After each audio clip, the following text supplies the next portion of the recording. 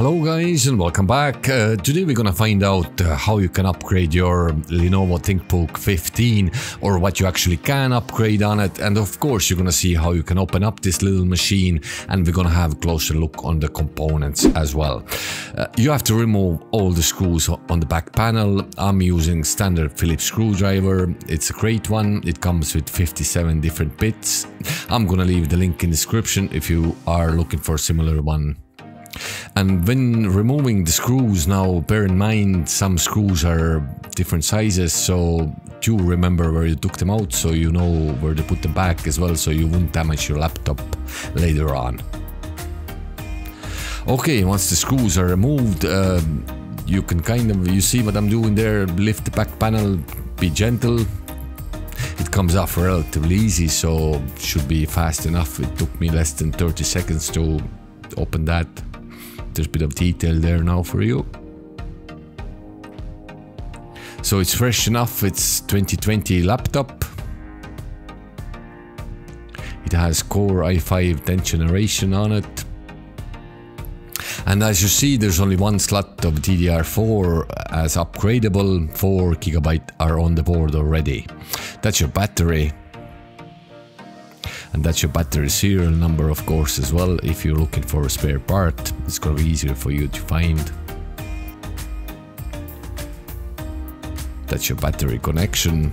Need to be disconnected before upgrade. That's your RAM. At the moment there's 8 gigs in it and 4 gigs on the board. So in total it makes 12 gigabyte of RAM at the moment on this laptop.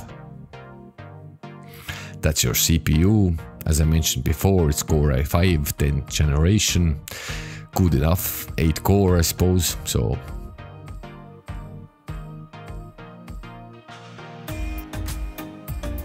That's your CPU fan there.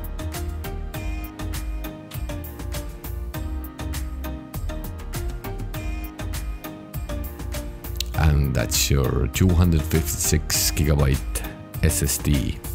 We're gonna swap that later on to one terabyte uh, Samsung drive, so just give a few minutes now. And that's your 2.5 inch hard drive bay.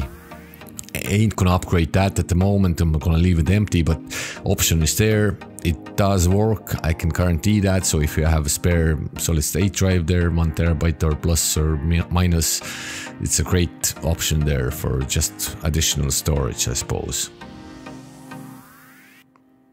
There's a closer look now for you as well. That's your battery, of course.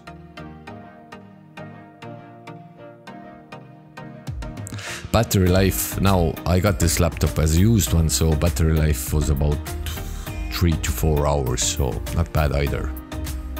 That's your RAM, that's your CPU of course, under that heatsink. That's your fan, CPU fan.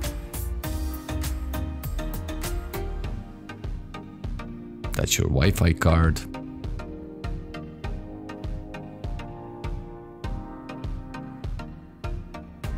And that's your 2.5 inch hard drive bay. As I said before, it's a great option if you want extra storage with cheaper price. I don't recommend uh, installing operating system on this 2.5 inch drive, so just maybe use it for storage. Okay, we're gonna upgrade RAM now. Before that, just disconnect the battery.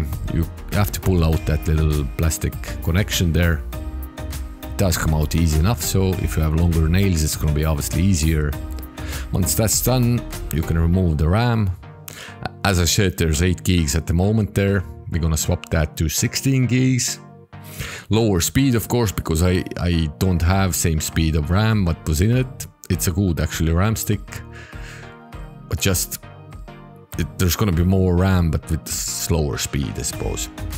And one thing I have to say now, when you upgrading RAM, uh, and after upgrading first boot, it's gonna take about a minute or last time it took me actually two or three minutes to see the screen. It was black, black screen there for two, three minutes and then it booted up properly. So it probably takes time for laptop to initiate the new RAM. So be patient.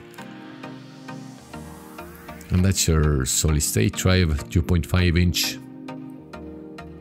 There's nothing wrong with the speed, just uh, need a bit of extra storage, so that's the reason why I'm upgrading this little machine.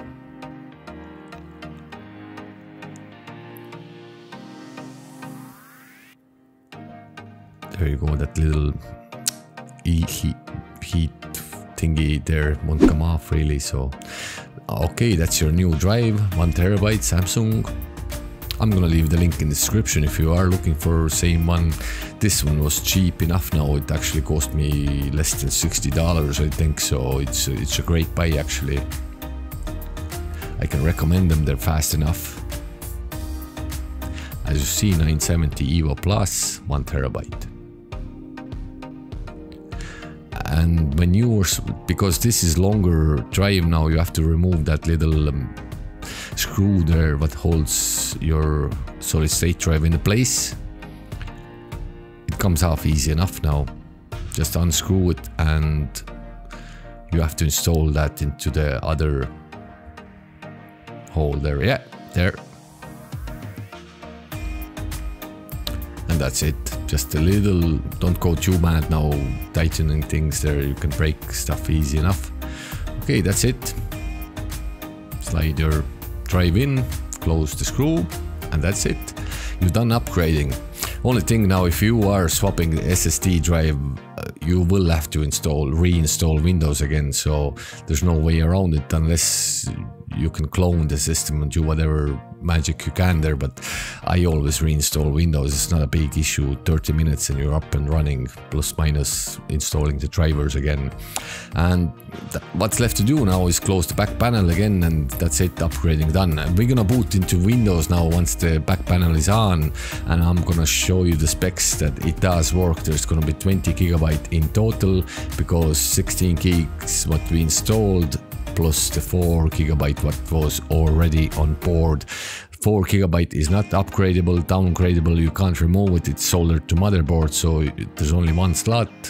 We installed 16 gigs on it, and in total it's gonna be 20 gigabyte of DDR4 RAM plus 1 terabyte SSD.